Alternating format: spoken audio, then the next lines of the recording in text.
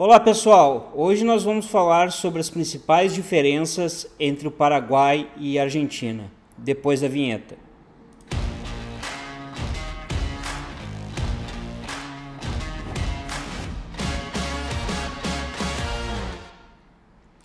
Olá pessoal, meu nome é Carlos Schreier, mais conhecido como o Brasileiro Sem Fronteiras. Aqui nós falamos sobre internacionalização e tudo que tem a ver com a teoria das bandeiras, que é você se internacionalizar de acordo com algumas características da sua vida, como você tirar uma outra cidadania, ter outros passaportes, você tirar residências por domicílio, que não é cidadania, você tirar o documento de identidade de outro país, você trocar a residência fiscal para outro país e você vai viver mais da metade do ano nesse país para pagar menos impostos, você abrir uma empresa offshore, uma conta bancária offshore, você investir em imóveis em outro país, investir no mercado financeiro em outros países, criar holding patrimonial e por aí vai. Bom, é, vamos falar então sobre a diferença entre a Argentina e o Paraguai.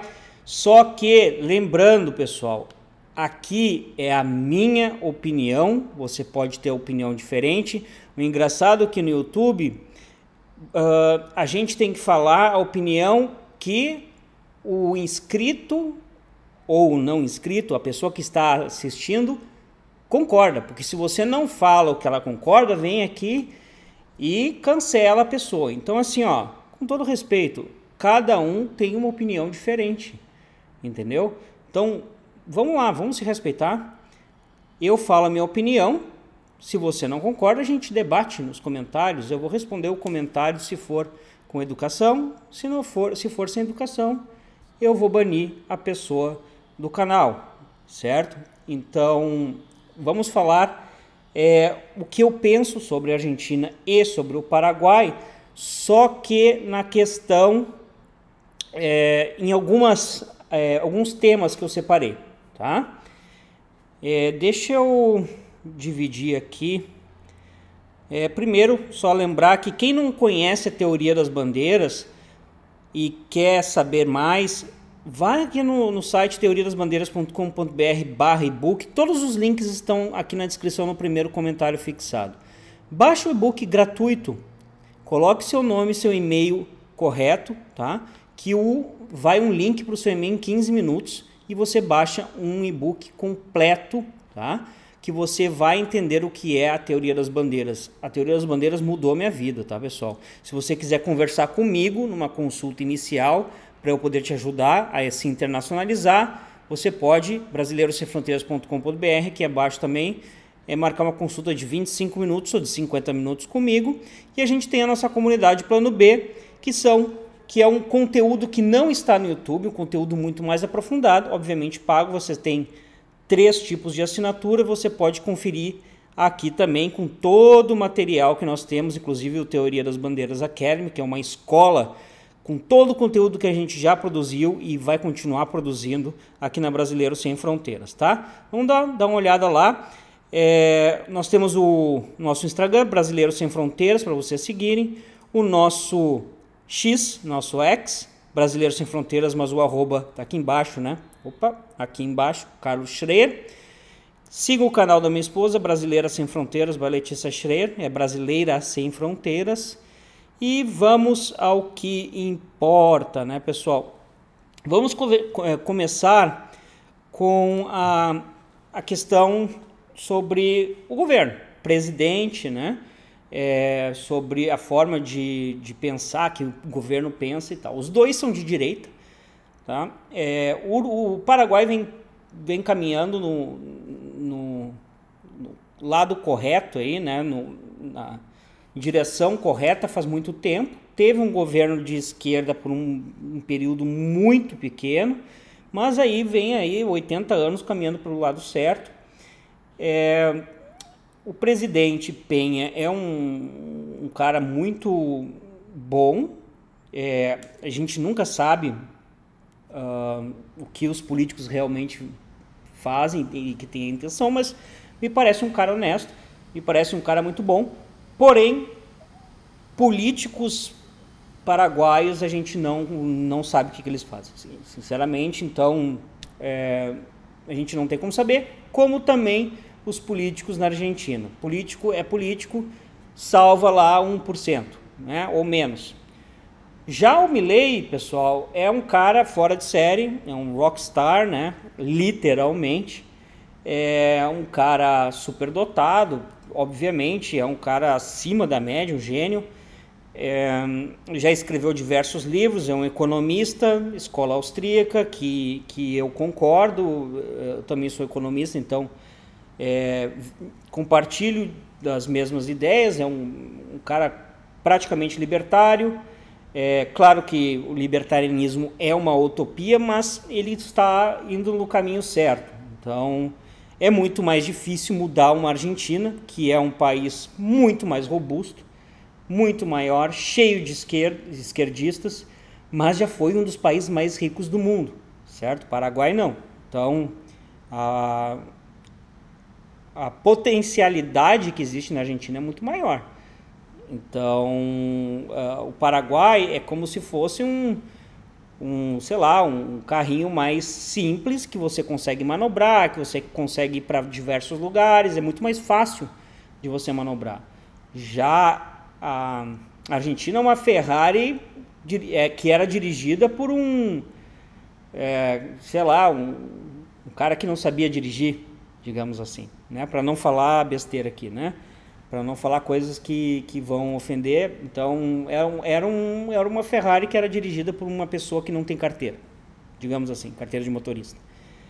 Então, se essa Ferrari for dirigida por uma pessoa que sabe dirigir um piloto de Fórmula 1, digamos assim, o negócio vai voar. E não, não tiver ninguém impedindo de dirigir, vai voar. Já o Paraguai sempre vai ser um, um carro mais simples, né? Um carro é, digamos assim, um carro popular, certo? Bom, vamos dar uma olhada aqui.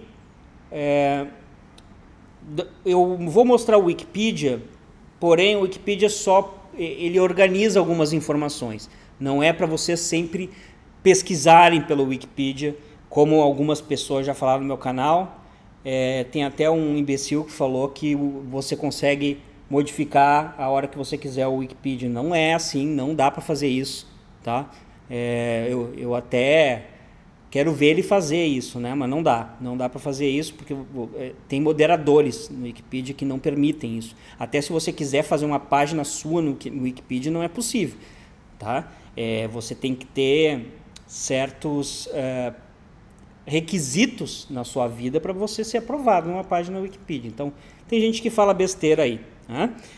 Então vamos lá. Aqui é só para mostrar é, isso aqui é importante, que a Argentina ela tem um PIB per capita de 26.389, que esse PIB per capita aqui é a paridade do poder de compra. O que quer dizer? Que no âmbito de país, mesmo a Argentina tendo pobreza, e bastante pobreza, como o Paraguai também tem, ela ainda é mais rica que o Paraguai e mais rica que o Brasil, tá? Porque o Paraguai, para vocês terem uma noção, é, eu gosto desse índice, tá? Porque PIB nominal não, não diz nada. 20 mil é o Paraguai, que o Paraguai está muito parecido com o Brasil. O Brasil é um pouquinho mais só. Para vocês verem, ó. Porque vocês veem a riqueza do Brasil, mas o Brasil tem 200 milhões de pessoas e muita gente na pobreza. Então aqui vocês podem ver que a gente tem um PIB per capita muito parecido com o Paraguai e Brasil. Para vocês terem uma noção, vocês pegam o Uruguai, por exemplo, o Uruguai, por exemplo, vai ter um PIB per capita de 30 mil, certo? Vocês pegam o Chile, por exemplo, vai ter um PIB per capita de 30 mil também, quase 31. E por incrível que pareça, vocês pegam o Panamá aqui, vai ter um PIB per capita de 44 mil, certo? Isso reflete exatamente quanto que ganha uma população? Não, não reflete quanto que ganha uma população. Mas é, é uma forma de fazer um cálculo do, da paridade do poder de compra, que é quanto que você divide a média do, do que ganha a população do que ela pode comprar. Mas não reflete exatamente quanto que ganha cada pessoa, certo? Outra coisa que a gente tem que comparar é o IDH. O IDH mostra é, a qualidade de vida praticamente de uma pessoa, tá? Isso é, um, é, é, uma coisa que a gente pode ver, mas vamos ver daqui a pouco, tá? É, tá, vamos ver o custo de vida. Então, custo de vida. Eu ver aqui onde é que eu botei. Tá. Custo de vida aqui. No Numbio, o cost of living uh, comparison between Buenos Aires e Assunção. Eu vou botar duas cidades, porque se você botar um país inteiro não vai mostrar realmente. Então vou botar as duas capitais. O que, que diz aqui? Que o custo de vida em Assunção é 25,2% mais barato do que em Buenos Aires, sem o aluguel. O custo de vida, o custo de vida incluindo o aluguel em Assunção é 23% mais barato do que em Buenos Aires. O aluguel, o preço do aluguel em Assunção é 15,9% mais barato, menor do que em Buenos Aires. Restaurante, preço em restaurante Assunção é 37,8% mais barato que Buenos Aires. É, groceries, é supermercado, é, é 30% mais barato que Buenos Aires. E o local purchase power, que é acaba que o dinheiro que você tem para gastar em coisas, o seu poder de compra, vai ser 25% maior lá no Paraguai, vai sobrar mais dinheiro, obviamente, do que em Buenos Aires. Tá? É, aqui você pode encontrar, se você fizer essa comparação, o preço de várias coisas, ó, leite, é, arroz, ovos, e aí você vai comparando cada país aqui. É bem interessante vocês colocarem isso aqui, tá?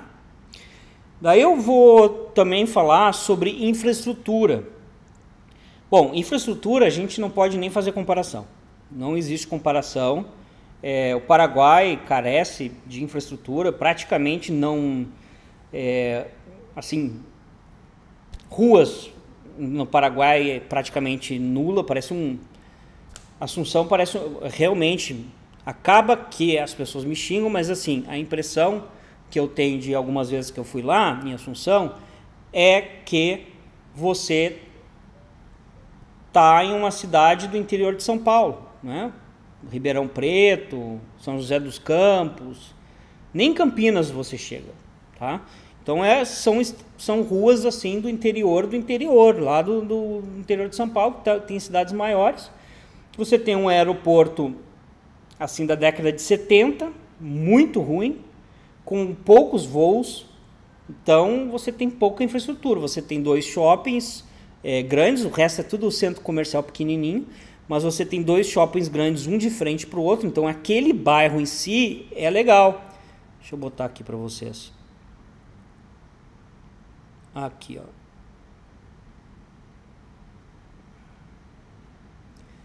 Aqui, ó, bem aqui, ó, nesse, nessa ponta aqui, vocês vão ter o Shopping Del Sol e o Passeio La Galeria. Então aqui está o World Trade Center, também Assunção, tá o Sheraton, tá tudo aqui. Então fora desse, desse bairro aqui, você tem pouca coisa. Você tem pouca coisa. Então aqui você tem o, os prédios que estão sendo construídos, os melhor, o, o melhor bairro para viver e tal. É claro que tem agora também outros condomínios que estão sendo construídos, mas aqui é o lugar, entendeu? Se você quer lugar que tem barzinho, restaurante, tudo é aqui. Já em Buenos Aires nem se fala, né, pessoal? Quem conhece Buenos Aires, assim, não, não tem como comparar, né, pessoal? O, o Porto Madeiro, uh, Recoleta, lá não, não, não é muito shopping, né? É, os comércios são na, na rua. É, quantidade de coisa para fazer. Então, o aeroporto, que tem voo para tudo que é lugar, inclusive direto para os Estados Unidos, é, pra, direto para a Europa, para tudo que é lugar. Então, é, é, é, é uma forma assim de você comparar também uma Ferrari com, com carro popular. Não tem como comparar em termos de infraestrutura, tá? Bom, vamos falar sobre clima também. Aí é uma também é uma forma assim muito pessoal de cada um, certo? Agora, uh, bom, assim, ó, Buenos Aires não faz tão frio, então faz uh, por estar ali na frente do rio e tal, e tem muita água, então o clima não é tão frio. Não é. Faz 5 graus, por exemplo, 10 graus. No, mínimo vai, vai chegar a isso.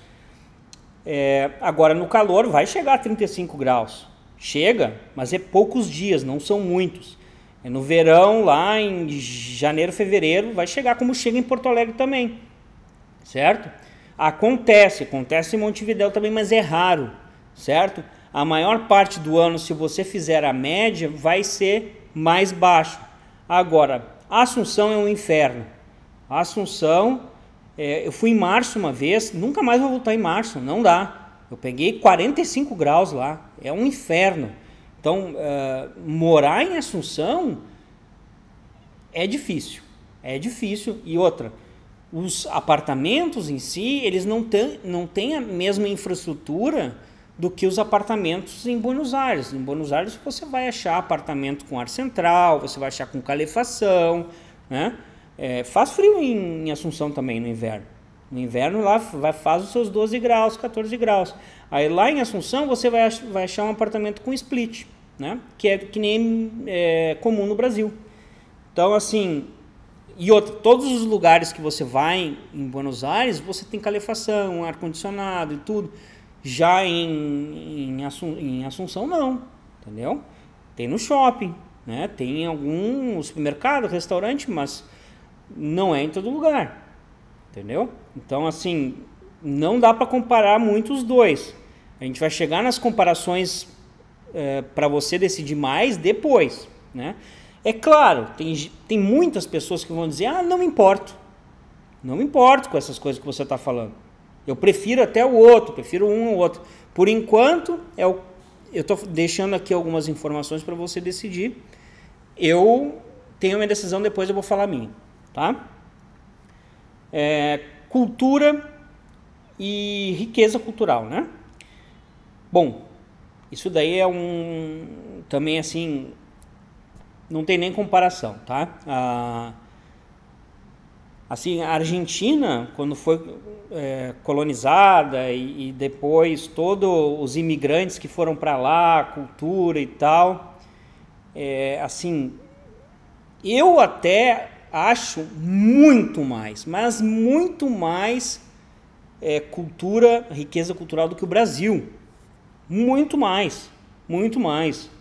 É, em termos de, de escritores, é, poetas, é, músicos, a música, é, toda a cultura, toda a cultura, certo?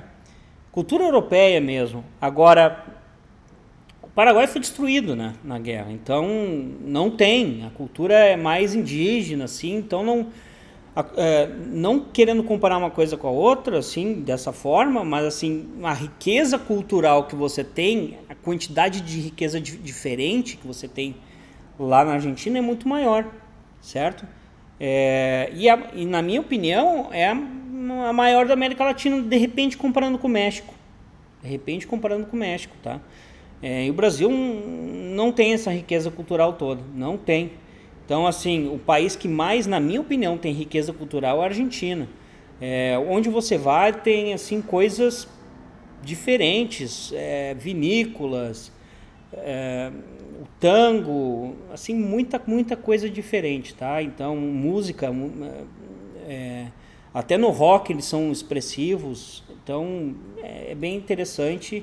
Já o Paraguai é, não tem isso, não tem, tá tá muito, é muito fraco em riqueza cultural. Agora vai chegar alguma pessoa que vai dizer assim: ah, não, eu no, no, no Paraguai eu prefiro a cultura do Paraguai. Aí eu não tenho como né, discutir, não, não tem, entendeu? Então, ambos foram colonizados pela Espanha, sim, mas a quantidade de imigrantes diferentes que foram é, italianos, alemães, aí tem várias outras etnias que foram para a Argentina estão indo só agora para o Paraguai, e estão mesmo indo agora para o Paraguai, é, fez a diferença nisso, entendeu? Vamos lá, lazer. Uh, também, assim, opções de lazer, restaurantes, barzinho, é, é, teatros, é, casas de show, tudo isso que você tem, Buenos Aires tem muito mais do que Assunção. Não tem nem comparação. E outra, na Argentina você tem diversas cidades, né? Você tem várias cidades, tem Rosário, tem Córdoba, tem é, Mendoza, é, tem várias outras cidades e, e, no Paraguai você tem Assunção. Né? Ah, você tem Encarnação, mas Encarnação também é pequeno, certo? Então você não tem muita coisa para fazer no, no Paraguai a não ser ah, alguma coisa naquele centrinho lá que eu mostrei para vocês.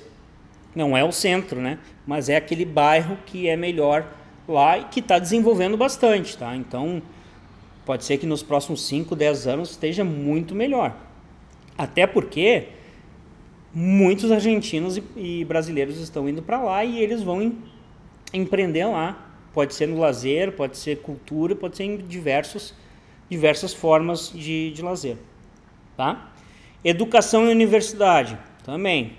Buenos Aires é, é uma, um grande centro de universidades, é, boas universidades, né? as, as, melhores universidades da América Latina, no caso, tá? É, melhores que no Brasil. Já no Paraguai é interessante, muitos brasileiros vão ali para fazer medicina sem, a, sem o vestibular, né? É, na fronteira e tal, mas a qualidade não é a mesma, né? Então, você ter um diploma em Buenos Aires, você ter um diploma no Paraguai, é completamente diferente, se isso é importante para você. Né? Então, algumas profissões isso é importante, outras hoje em dia já nem é mais tanto. Mas educação na Argentina, é, que é, o povo é mais educado, é mais politizado e tal, é, você tem mais uh, a, de forma cultural mesmo, educação que eu digo de forma cultural, tá? É, é sim, é um povo mais é, com uma educação mai, maior, tá? E isso tudo traz em termos de, de qualidade de vida, certo? Isso tudo traz é, um desenvolvimento para o país. Isso aumenta a qualidade de vida. Tem muita gente que vai dizer assim: ah, eu prefiro viver num país que tenha esse, é, esse ambiente né, uh, mais desenvolvido, mais europeu que o, o Paraguai. Não tem. Se você vai para Buenos Aires, parece, claro, com devidas proporções, que você está na Europa. Em alguns bairros ali parece que você está na Europa. É, já no Paraguai você está num país, né? Que a recém está se desenvolvendo, certo? Então a gente tem que ver as diferenças, certo? Então aqui a gente pode ver também é, com relação ao IDH. O IDH da Argentina é muito alto, mesmo tendo pobreza. O IDH é uma forma de medir tá? o, o a qualidade de vida, é o Índice de Desenvolvimento Humano, tá aqui em espanhol indicador elaborado por um programa de Nações Unidas para o Desenvolvimento, que utiliza uh, para classificar os países três níveis de desenvolvimento humano. O índice está composto pela esperança de vida, a educação, indicadores de ingresso. Tá, isso aqui ele, ele demonstra quão, é, como é mais desenvolvido um país do que o outro, é qualidade de vida mesmo, tá? É, quanto, quanto tempo as pessoas vivem, etc. Qualidade que as pessoas vivem. Argentina é muito alto. O Paraguai, uh, coeficiente de não, IDH é alto, é menor, certo? O Uruguai, para vocês verem aqui, é muito alto também. O Chile é muito alto. Ó, o Panamá, eu estava olhando aqui, o Panamá IDH é muito alto também. E o Brasil é alto. Então o Brasil é igual o Paraguai e esses outros países todos são muito altos. Então isso faz diferença, tá, pessoal? Vamos para para investimentos tá? e potencial de desenvolvimento. O que, que eu penso? A Argentina é um, é um canhão, tá? É um canhão e o, e o Paraguai era uma pistola e se transformou numa metralhadora, tá? A Argentina, se fosse consertada, o que eu acho muito difícil e teria que ter cinco governos do Milley ou alguém que ele né, coloque para consertar. E já foi, pessoal, mais rico que os Estados Unidos. É só estudar. Vai lá, peguem no início do século XX, a Argentina era mais rica que os Estados Unidos. Até o Brasil já foi mais rico que os Estados Unidos, mas enfim, a Argentina já foi mais rico que os Estados Unidos. Estava bombando antes da Primeira Guerra Mundial. Então, é, o Paraguai ele está indo no, no, no lado certo é, porque faz políticas com Estado mínimo, políticas é, com baixos impostos para atrair desenvolvimento, certo? Só que o que acontece é que é muito bonito isso quando você começa a se desenvolver e quando você começa a trazer dinheiro. No momento que você começa a se desenvolver e as pessoas começam a aumentar a renda, as pessoas de classe média começam a subir renda, começa a surgir sindicato, começa a surgir as pessoas querendo é, garantias, essas coisinhas que a gente sabe o que, que é. Isso é pouco no Paraguai hoje, mas na minha visão isso vai acontecer em algum ponto. Pode ser daqui a 10 anos, pode ser daqui a 20 anos. O Uruguai aconteceu isso. O Paraguai vai acontecer. O Uruguai tem diversas isenções fiscais, muitas. É bem organizado, é um país é, assim, é uma economia, é uma democracia plena que eles chamam. É um país tranquilo, tudo perfeito, mas dentro do país tem bastante impostos. Mas eles cresceram com isenções de impostos. Mas chegou o ponto, de um, depois de um certo crescimento, que a população de classe média começou a, não, mas eu quero garantia disso, eu quero garantia daquilo, e começaram a dar. Essas pessoas começam a votar e começam a querer o negócio deles. Isso no Paraguai ainda não tem, porque a população de classe média ainda não é politizada entre aspas, para votar no que elas querem. Ou seja, às vezes a população de classe média baixa, ela acaba indo para a esquerda. Isso acontece. E isso acontece com países que começam a chegar num grau de desenvolvimento. E isso provavelmente vai acontecer com o Paraguai, porque o Paraguai é um país muito pobre. Ele é mais pobre que o Brasil e ele está crescendo. Então isso pode acontecer. Agora, nesse momento, e sei lá, para os próximos 20 anos, o Paraguai está indo que nem uma metralhadora giratória. Então, é o momento de investir no Paraguai, com certeza. E um momento bom é o mercado imobiliário, porque naquela região que nem eu mostrei para vocês, onde está aquele bairro, aqui está saindo uma, uma, duas obras, três obras em cada quadra. E a gente pode vender para vocês imóveis lá, porque a gente trabalha vendendo imóveis em vários países. E a gente tem relação com várias construtoras no país. E a gente vende lá até através da nossa comunidade. Deixa eu botar aqui para vocês. Vocês têm acesso à nossa a nossa área de membros do curso Imóveis no Exterior. Se você assinar a nossa comunidade com o membro Ultra VIP, você tem acesso ao Teoria das Bandeiras Academy e ao curso de Imóveis no Exterior, no qual você recebe diversos tipos de ofertas sobre imóveis no exterior. Então, por isso que eu falo, já na Argentina, existe opções, existe várias oportunidades. Eu até andei falando com pessoas, existe apartamento em Buenos Aires por 50 mil dólares à venda. devido à inflação.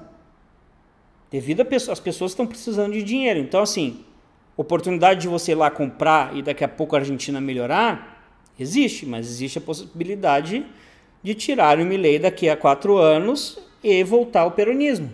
Então, é um ponto de interrogação. O Paraguai é mais tem mais chances, agora que conseguiu o grau de investimento da Moody's, de ir para o lado certo, pelo menos nos próximos 20 anos. Certo? Então, assim, investimento no mercado imobiliário, totalmente no Paraguai.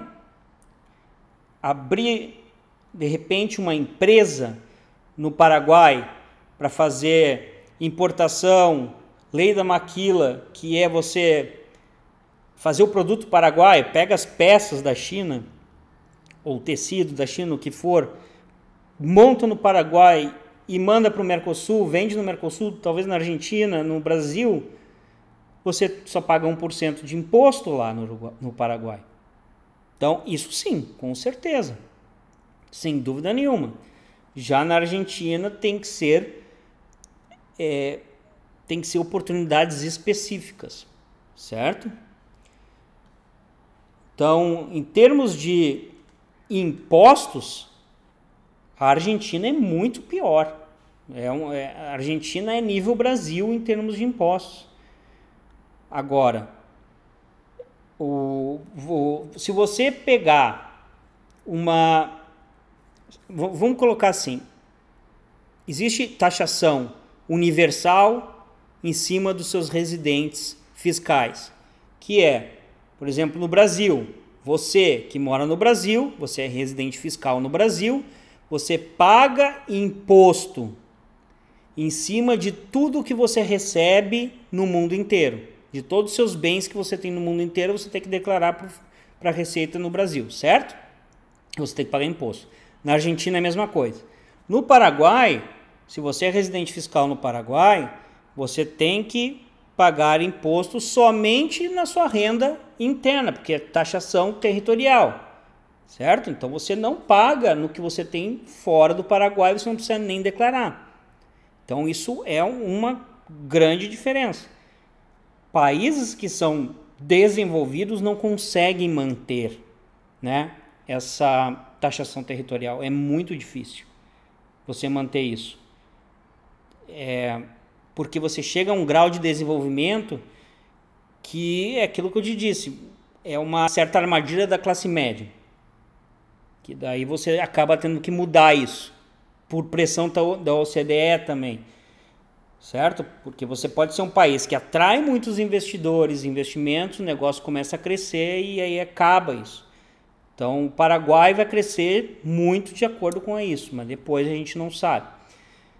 Mas, se você quer ser um residente fiscal na Argentina, você pode ser e ser um residente fiscal no Brasil. A sua renda que você tem no Brasil vai pagar no Brasil e a sua renda uh, na Argentina vai pagar na Argentina porque tem acordo de não bitributação. Certo? O Paraguai não tem acordo de não bitributação com o Brasil. Então, o que você ganha no Brasil vai pagar no Brasil, mas você não tem que declarar no Paraguai. Mas o que você ganha no Paraguai, você tem que declarar no Brasil, se você continua residente fiscal no Brasil. Isso tem que prestar bem atenção. Tá? Agora, uma coisa do acordo de não bitributação é que troca informações. O Paraguai não troca informações com o Brasil. Então tem muita gente, eu não estou dizendo para você fazer, que vai lá, compra um imóvel no Paraguai e não declara. Joga dinheiro lá no Paraguai e não fala nada. E fica por isso mesmo, porque o Paraguai não troca informações ou troca pouco. Já a Argentina, o Uruguai, Chile troca tudo informações com o Brasil. Até porque tem acordos de não bitributação. Os acordos de não bitributação vocês podem olhar na página da Receita Federal, vocês vão ver todos os países que o Brasil tem acordo de não bitributação, troca de informações. Certo?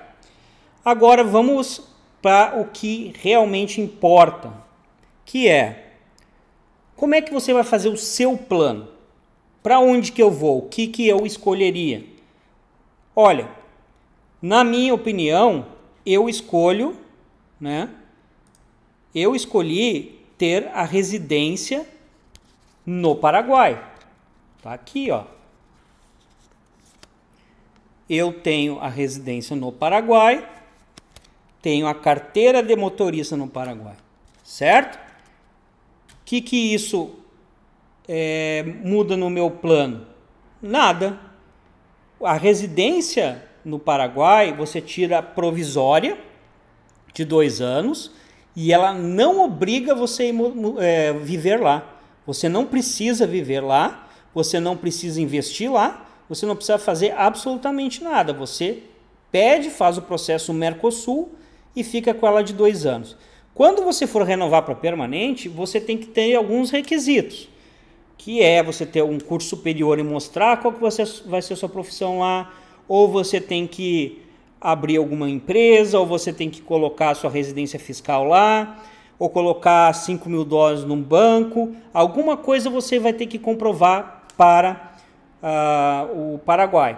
Mas depois que você tirar sua residência permanente, é, o cartão de residência vale 10 anos, e a cada 10 anos você só renova o cartão. E aí você tem uma residência permanente no Paraguai. É interessante, tá? Até por, porque você só paga imposto na sua renda local e ele não interfere em nenhuma outra residência se você vai ter uma carteira de residências, certo? Já na Argentina, você também vai tirar a residência provisória, que pode ser de dois anos. Mas quando você chega no primeiro ano, no final do primeiro ano, você vai renovar para residência permanente, certo? Aí que está o negócio. Se você fizer a residência na Argentina, você é obrigado a viver 183 dias por ano lá, pelo menos durante o processo de residência. Já no Paraguai, não. Só que na Argentina, e aí na Argentina você vai ser residente fiscal, que você vai pagar imposto em cima de todo, tudo que você ganha no mundo. Certo? Se você não tem dinheiro em outros países que não tem acordo de não tributação com a Argentina, não tem problema. Digamos que você tem dinheiro num país que tem acordo de não tributação com a Argentina, você vai descontar, beleza, vai pagar na Argentina. No Brasil, o dinheiro que você tem no Brasil, vai pagar no Brasil, na Argentina vai pagar na Argentina. Tranquilo. Agora, se você tem dinheiro, sei lá, no Panamá, se você tem dinheiro em algum outro país que não tem acordo de não tributação com a Argentina e não tem acordo de não tributação no Brasil, você vai criar um problema para você. Aí você tem que tomar cuidado. É melhor você tirar só no Paraguai. Residência fiscal também, você tem que tomar cuidado, porque só vai valer a pena se você der saída fiscal do Brasil e viver mais de seis meses no país que você tirou. Até para você não ter que declarar mais o que você tem para o Brasil também. Isso é interessante pensar. Agora, cidadania. Vamos lá. Cidadania é uma coisa que as pessoas confundem muito o que é. Cidadania não é isso aqui. Isso aqui não é cidadania, tá? Por mais que tem muito youtuber aí que diz assim: venha fazer a sua cidadania no Paraguai. Aí você vai ver outros dizendo: ah, quantas cidadanias, não sei o que, não sei o que, na Europa e tal. Tem que saber que cidadania é quando você adquire o direito de ser cidadão, certo? E aí você tem a possibilidade de pedir, de fazer o seu passaporte naquele país. Aí tem outros direitos também, mas também tem deveres, certo? Você tem dever com aquele país. Às vezes você tem que ir para a guerra pelo aquele país, às vezes você tem obrigatório votar, tem vários direitos e deveres. Um residente é somente, por exemplo, que nem um green card nos Estados Unidos. Isso aqui não é cidadania nos Estados Unidos. Isso aqui é um residente permanente nos Estados Unidos, ou aqui no Panamá, ou lá no Uruguai, certo? Nenhum desses é residente, é, é cidadania, é um direito de você viver no país. Você deixou de ser turista, você tem todo o direito de viver e você decide se você vai se naturalizar cidadão daquele país. Normalmente, para se naturalizar, você tem que ter tempo de. Você tem vínculos com aquele país. E aí você tem que ver as regras de naturalização, e é isso importante. Na Argentina, você tem que viver dois anos como residente, certo? Então, se você viver o primeiro ano como residência provisória e o segundo ano como residência permanente, você já vai poder entrar com o processo e vai demorar mais um ano para você conseguir a, a cidadania argentina, que aceita dupla nacionalidade ou múltipla nacionalidade, como é melhor. Com o Brasil, inclusive, o Brasil também já aceita isso. Então você vai se naturalizar argentino. Já o Paraguai, por mais que muitos youtubers e empresas ofereçam para você isso, e é importante, pessoal, é só você jogar no Google é, dupla nacionalidade ou múltipla nacionalidade paraguaia, vai te dizer assim, ó, a dupla nacionalidade está permitida barro a Constituição de Paraguai, está na Constituição, sobre uma base de reciprocidade, o que significa que, a menos que o Paraguai tenha um acordo bilateral com outra nação, essa outra nacionalidade não está permitida. Aí você pode botar em outros lugares, aqui você. É, La Doble Multinacional. Se, se você colocar aqui, ó, esse endereço aqui é do governo do Paraguai, está aqui, ó, paraguai.gov.py, tá? E você descer aqui, é, doble e multinacionalidade da Constituição Paraguai. É, nossa Constituição Nacional se regula na nacionalidade e cidadania, sua parte do ordenamento político, a República. Especificamente, nacionalidade múltipla, que é o que ele é, significa, tá?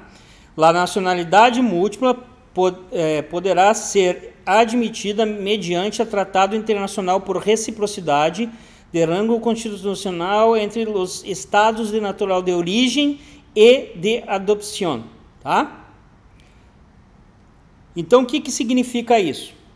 Significa que se você é brasileiro e quer ser paraguaio, certo? Quer se naturalizar paraguaio e manter as duas, o Brasil teria que ter um acordo de, de reciprocidade com o Paraguai, o que não tem.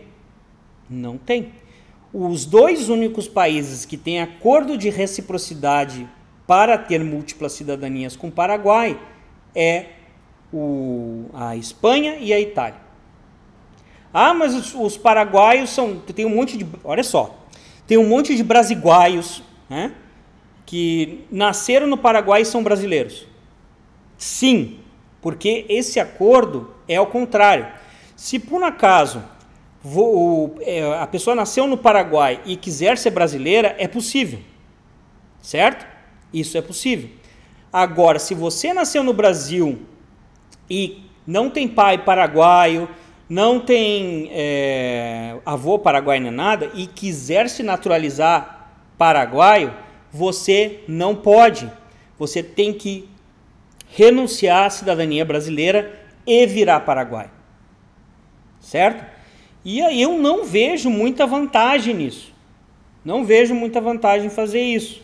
Porque você pode viver a vida inteira no Paraguai como residente permanente, só em 10 em 10 anos, é, 10 em 10 anos fazendo a renovação da residência permanente. Eu vou dizer por quê. Vamos lá. Vamos comparar os, os passaportes, tá?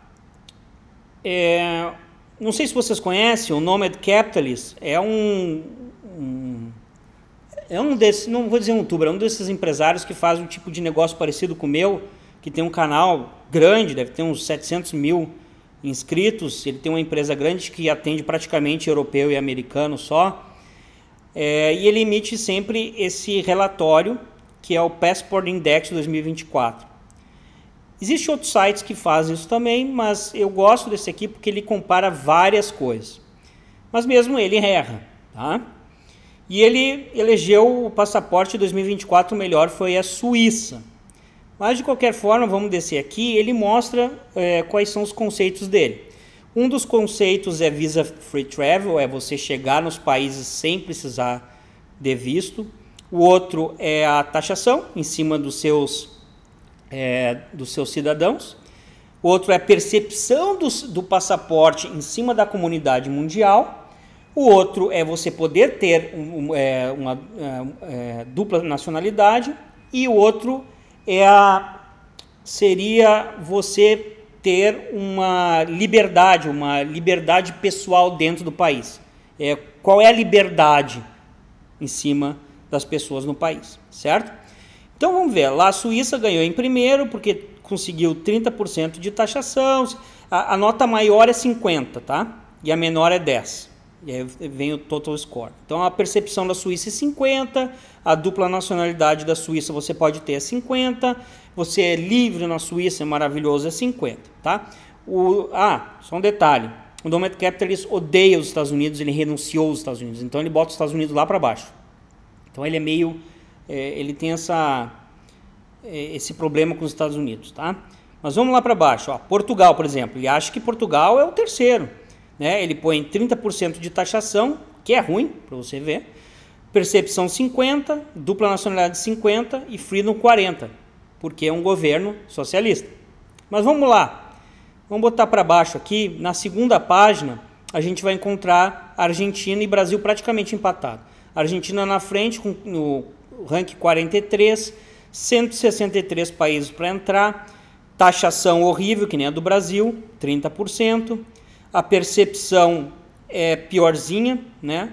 Porque tudo que acontece na Argentina e também arranja problemas com vários países, que nem o Milei está fazendo. O Brasil tem menos problemas com vários países, mas o Lula está conseguindo mudar isso. Dupla nacionalidade na Argentina perfeitamente fácil. Ah, se você tem filho na Argentina ou casa com um argentino, é mais rápido de você conseguir a cidadania. Uh, e aqui a liberdade na Argentina é 40, contra a liberdade no Brasil é 30 certo? Já vocês podem ver que o Uruguai já está aqui, entre os Estados Unidos igual ao Brasil praticamente. E o Uruguai está aqui também junto. Beleza? Ó, vocês podem ver que o Uruguai taxação é 40, percepção é 40, dupla nacionalidade é 40 e, e liberdade 50. Já o Paraguai está na terceira página com 142 países sem visto, contra 163 e 164 da Argentina e Brasil. Então, você renunciar à cidadania brasileira para ter um passaporte paraguaio é meio estúpido na minha assim, percepção, né? Taxação 40, muito bom. Percepção muito ruim, 30, você é paraguaio, né? Eles não, não vê isso de uma forma muito boa. Dupla cidadania que ele errou, tá? Errou, eu vou explicar por quê, de novo. E liberdade 30. Como ele não mostra isso uma boa liberdade no Paraguai. Agora sim, como que eu te digo que ele errou? Porque ele não é especialista em Paraguai. De novo, ele não é especialista em Paraguai. E é uma coisa muito comum no Paraguai você chegar lá e advogados do Paraguai, especialistas em internacionalização chegar para você e dizer assim, ó, pega aqui um visto, pega aqui um, um passaporte do Paraguai, lembrando que Ronaldinho Gaúcho pagou passaporte do Paraguai e foi preso, tá? Estava preso no Paraguai porque os caras olharam lá e disseram assim, Ronaldinho Gaúcho paraguaio, né? Não pode. Então já ouvi pessoas oferecendo passaporte paraguaio por 5 mil dólares, por 10 mil dólares e pessoas comprando. E tem gente que compra e fica tudo certo, certo? Tem pessoas que depois de três anos vão lá e fazem a naturalização e não falam nada para o Brasil, fica por isso mesmo, mesmo sendo ilegal e no futuro isso pode dar problemas para você e você perder a cidadania brasileira, as pessoas arriscam, sem problema nenhum. Também é possível. O advogado vai dizer assim para você: ó, oh, faz, não avisa o Brasil e nada vai acontecer. E se começar a trocar informações, se a Interpol, Polícia Federal, começar a trocar informações e que já estão tendo alguns problemas aí, e aí você perde a nacionalidade brasileira só para ter virado Paraguai. O que eu vou dizer como conclusão no final desse vídeo? Eu vou dizer que para vocês que você não precisa realmente escolher Paraguai ou Argentina. Você pode utilizar a teoria das bandeiras e fazer que nem eu faço. Você pode ter diversos países no seu portfólio.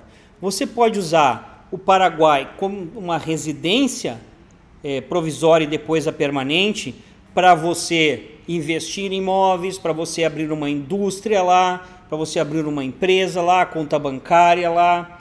E daqui a pouco você não precisa viver lá e você pode ficar 90 dias a cada, a cada semestre na Argentina. Você pode investir na Argentina sem morar na Argentina.